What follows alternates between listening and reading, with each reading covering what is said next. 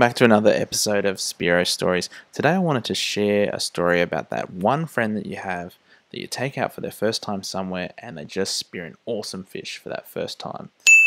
The sort of fish that you've been trying for for years. Well, anyways, this morning we were shore diving, which is something we can only really do over winter on the Sunshine Coast. And we were immediately greeted with some absolutely beautiful, clean water right off the shore and the ocean was just flat like a lake. It was really shaping up to be an awesome morning.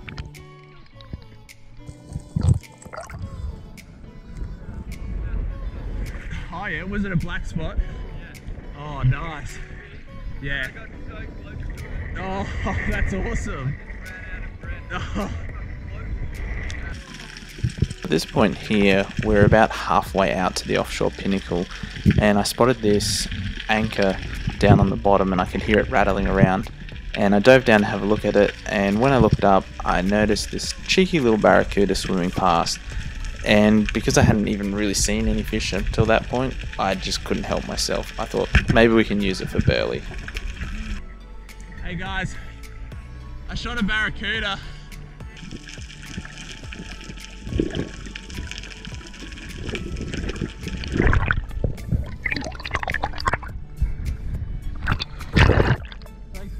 Shotting it. I, I never used to worry about it, but so many people have Yeah, told me. shit, yeah, yeah. Oh yeah, did you see it have a go at you before? Yeah, at my fin, it bit my Yeah. fin.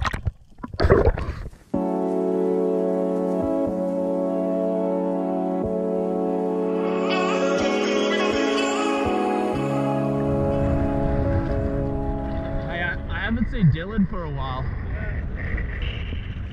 I might try hang on to my float, see if I can see him.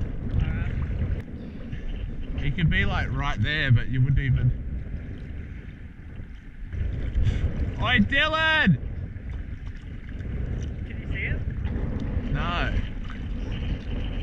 Behind me. And I didn't really realise he was gone until about a few minutes ago. Dylan!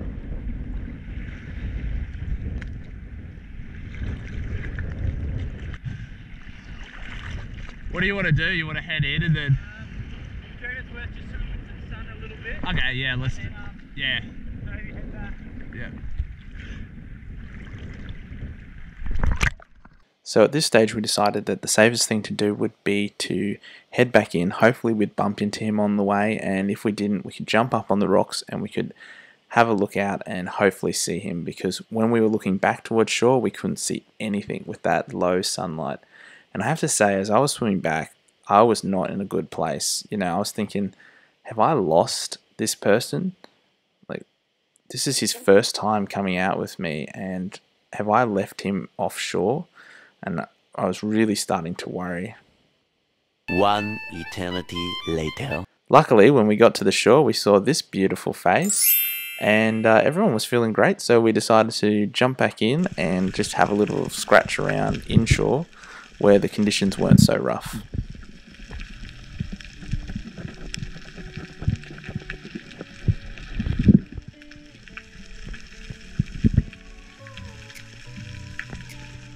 So after about an hour of not really seeing too much, I come around the corner, smack bang into this school of beautiful jewfish, and what do I do? Well, of course I miss the easy shot, because, you know, it's too easy, right?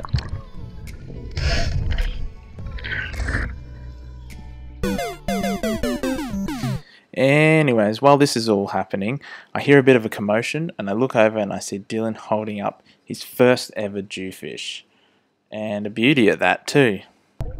Now, unfortunately, he wasn't wearing a GoPro at the time, but I've included some awesome footage from my brother to give you an idea of what the experience was like. Let's take a look.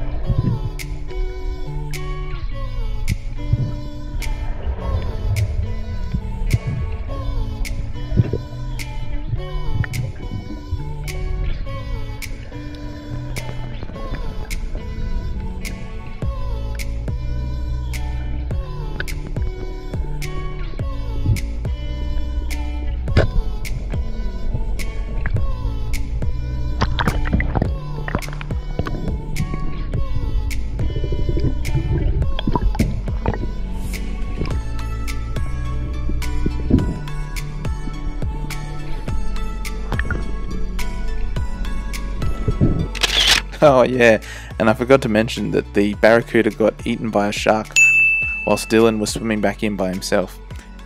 Anyways. Okay guys, that about wraps this one up. I hope you've enjoyed watching it.